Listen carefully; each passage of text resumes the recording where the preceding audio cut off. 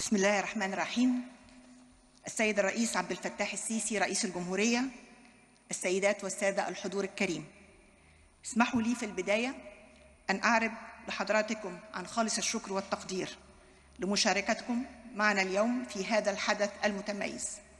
لنشهد اليوم وسط هذا الجمع الكريم إطلاق تقرير التنمية البشرية في مصر 2021 تحت عنوان التنمية حق للجميع مصر المسيرة والمسار. وتوجه بشكر خاص للسيد رئيس الجمهورية على تشريف هذا الحدث بالحضور وعلى اهتمام سيادته الشخصي بالاطلاع على مخرجات هذا التقرير الذي يعد أحد أهم التقارير الدولية التي ترصد وضع التنمية البشرية على مستوى العالم.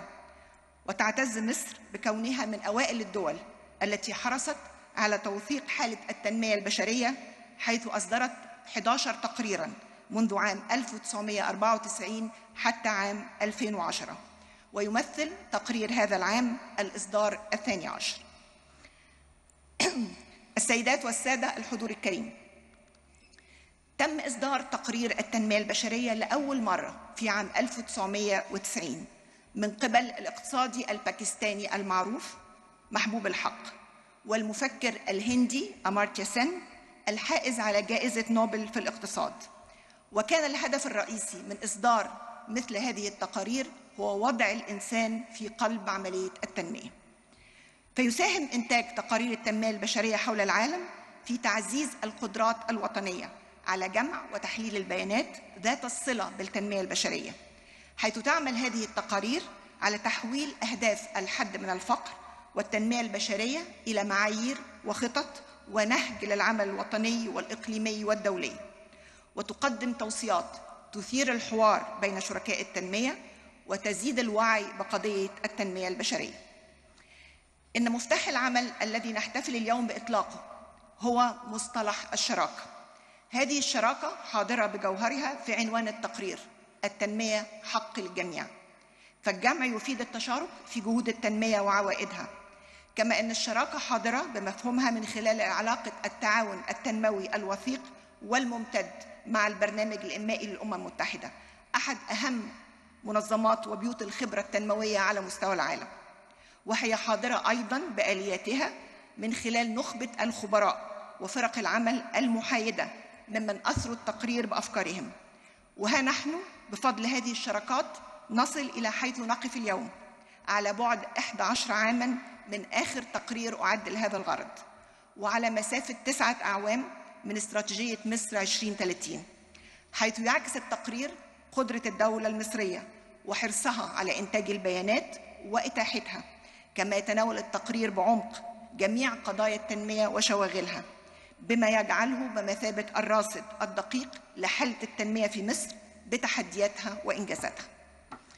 السيد الرئيس الحضور الكريم يأتي تقرير التنمية البشرية في عام 2021 حول مصر المسيرة والمسار ليرصد مسيرة عقد, عقد كامل من عمر الوطن ويرسم ملامح المسار للمستقبل نراه جيدا ونبتغيه مشرقا ونعمل بكل عزم لتحقيقه. لقد بدأت المسيرة التي كان النجاح حليفها في العقد المنقضي بأحداث وتحديات سياسية واجتماعية واقتصادية انجسام شهدتها مصر في مطلع في مطلع هذا العقد. انعكست هذه التحديات سلبا على جميع مؤشرات التنمية. فانطلقت مسيرة العمل منذ سبعة أعوام مرتكزة على تخطيط شامل ورؤية طموحة للمستقبل.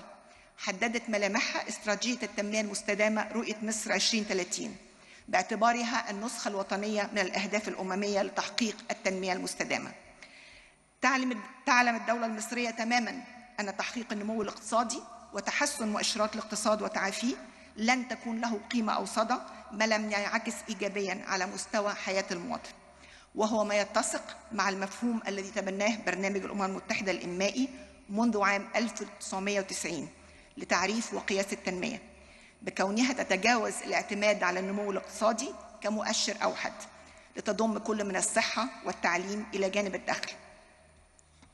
لذلك جاء الهدف الاستراتيجي الذي حددته الدولة المصرية وهو تحسين جودة الحياة للمواطن المصري في قلب من كل هذه الجهود حيث تسعى الدولة لحشد كل الإمكانيات والموارد المتاحة للتوسع في الاستثمارات العامة والتي زادت بما يتجاوز سبعة أضعاف قيمتها بين عامي 2014 و 2021 لتنفيذ مشروعات ومبادرات تنموية كبرى في كافة القطاعات. وجاءت المبادرة الرئاسية بتنفيذ المشروع القومي لتنمية الريف المصري مبادرة حياة كريمة التي تستهدف تغيير وجه الحياة إلى الأفضل لما يزيد عن نصف سكان مصر في القرى والريف. وهي تجربة تنموية مصرية خالصة. تعد أكبر المبادرات التنموية الشاملة والمتكاملة في العالم سواء في حجم مخصصاتها المالية أو في حجم المستفيدين منها.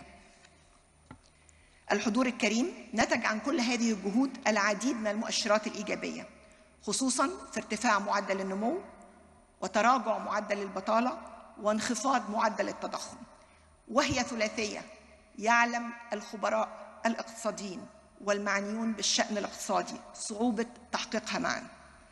إلى أن ظهر تحدي جديد تمثل في جائحة انتشار فيروس كوفيد 19 وكان لجهود الإصلاح التي أنجزتها الدولة المصرية في الأعوام الأخيرة الفضل في تعزيز قدرة الاقتصاد المصري على الصمود في مواجهة هذه.